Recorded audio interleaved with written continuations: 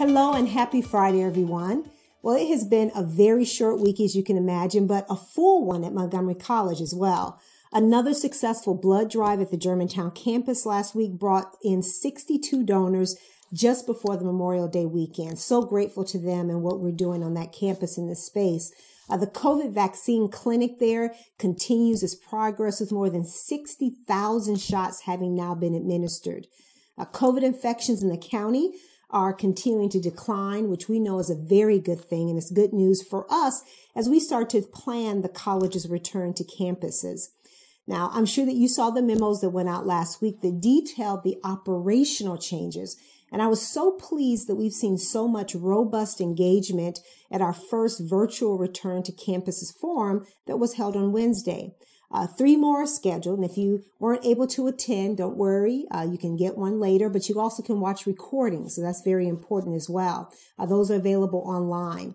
Uh, there were some great questions that were asked about transportation, uh, learning centers, the hiring freeze, medical exemptions, parking, and so many more. Uh, some of the questions also already had answers, or we have created answers, and they're on the frequently asked questions about return to campuses on the college's website. So please consult there so that you can get more information that's really relevant to our return back into our workspaces. Uh, those questions will be updated as conditions evolve. So check back frequently so that you can make sure that you're abreast. This is a part of us, each of us doing the information gathering and receiving is very important. And as you may know, uh, they're going to have some more scheduled forums. One's going to be on June 8th, another one June 10th, and then one on June 17th. And because there's a different type of relationship or understanding around these issues as it relates to supervisors, we're having an additional one scheduled for supervisors, which is going to be on June 15th. Now, some more good news for us is that students continue to trust the college and its careful planning and are registering for summer classes in substantial numbers. Uh, summer enrollment for the first session is over 100% of projections, while summer two is about 89%. For the summer total, that's about 96% of projections, which is definitely an accomplishment because projections are what we use in order to design the budget. So this is a very exciting thing for us.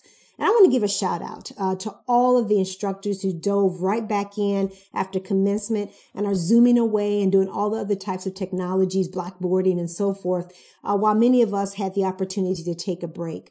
I'm so grateful to them and our students who said, let me just go right in and all of us who support what happens in the classroom, uh, making sure that those faculty can do what they need to do. It's been a long year, uh, but summer teaching allows students to continue making progress when it's convenient for them. So I thank you for your tirelessness and your dedication to making sure that we're bringing forth the mission of the college.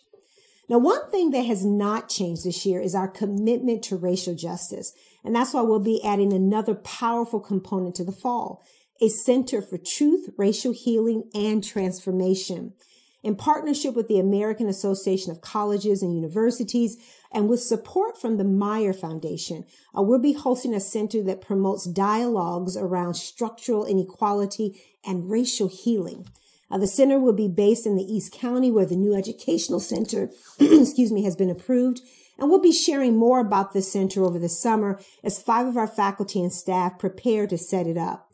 The recent 100th anniversary of the Tulsa Race Massacre in Oklahoma in 1921 was a painful reminder of why such initiatives still matter so much.